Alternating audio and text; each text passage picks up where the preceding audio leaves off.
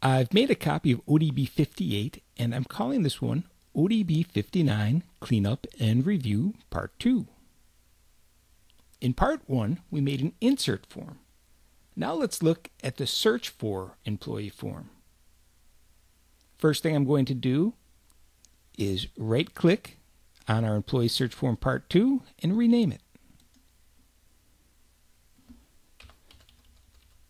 We'll call this employee search form and take off the part 2. Now I'm going to right click on it and go into edit. I'm going down to click on the design mode on off so we can look at the database with data in it. I have employee data showing here, but you can use the same idea for your database, whether it's a task database or a problem tracking database. The name would be the name of the task or the problem, and the department and group could be some kind of category, and the dates would be the date it was assigned or discovered. We could also use this same idea for a database library of books, DVDs, or video games. The name would be the name or title or author, and the department and group could be some kind of category or genre. And the dates would be the date it was released or published. This screen is great for quickly finding a record we're looking for, but we don't have all the information about that record on the screen. The idea behind this screen is to help us find the employee ID of the record you're looking for. Then we can type that ID into a field on a view or edit screen to see all the information for that record. Looking at this employee ID, we've got it right justified and have two decimal places. I'm going to go back into edit and right click on the employee ID, opening up the column to open up that control properties dialog box. We're going to change the decimal accuracy to zero and the alignment to center. Now when we go back in and view it with data in there, we see that we've got no decimal places and our employee ID is centered. Easy to read. I will save this form and close it. Brings us to our last form. Going to rename that to be employee edit form. And I'm going to double click to open that. When we open up this form, the first thing we notice is that we have no way of entering in an employee ID to bring up that record. We're going to handle this search just like we did the employee search form, meaning we're going to add a field to the filter table. I'm going into tables, and some people may want to add a separate table for a new form. I am going to add it into our current filter table. Right click, edit. Down at the bottom, we'll call this EMPID. Integer. And I'm going to add in a little note here.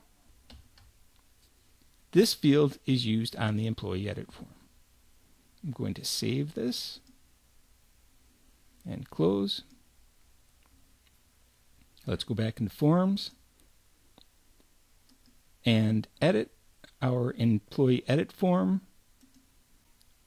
I'm going to take off this extra control that we don't need. Now I'm going to open up the form navigator. Under the main form, I'm going to add a new subform. And I want to right click and open up the properties. Instead of form, we're going to change the name to employee subform. Under the data, we want this as a table, employees. Going to close this. Now I'm going to move all the controls that were on our main form onto our employee subform.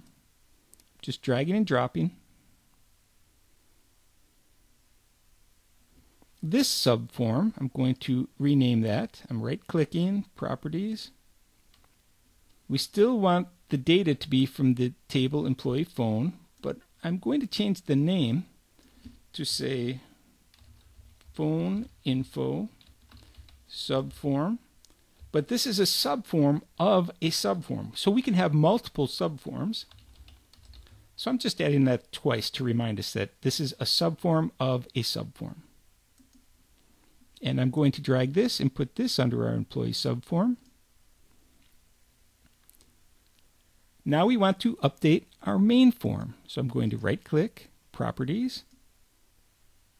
We see that our content is pointing to the employees table. I want to change this to the table filter and close. Making sure the main form is still selected, I'm going to come down and add a field. I'm going to double click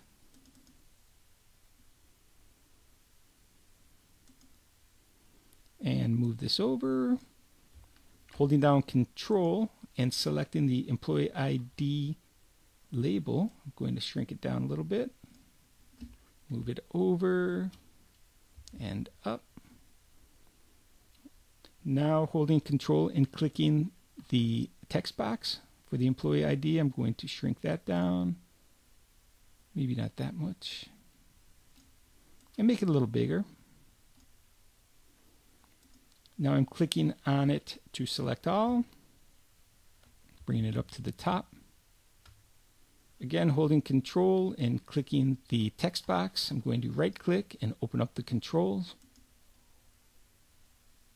Going into general, I'm going to slide down to the bottom where we've got our font. Let's change the font to be bold 14 and we'll give it the color of blue. We're going to change our alignment to center and we're going to change our background color to pale green and the border to 3D.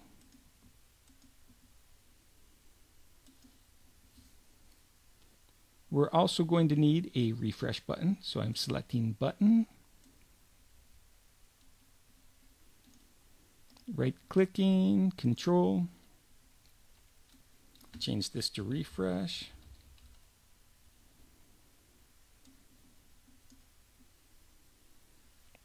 Action, refresh form. Background color, we're going to give this gray 2 and the font.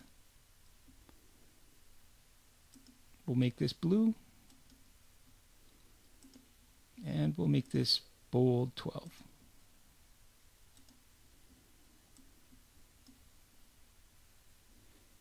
instead of gray 2 let's change this to cayenne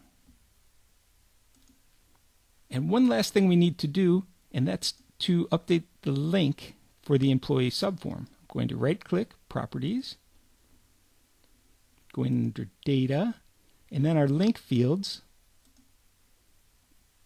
We want to link the employee ID to the filter table, new field employee ID. I will save this and go into design mode. I'm going to type in an employee ID of 5, refresh. It's asking if we want to save the changes. We type yes. And the problem with that, let's go back into edit, is because I have our push button on our main form, I want to move that to our subform. That should get rid of that error message. Going to save the form again back into design view.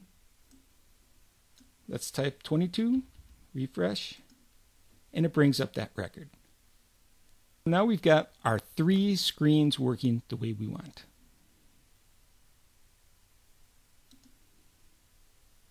I'm going to save the form and save the database. はい。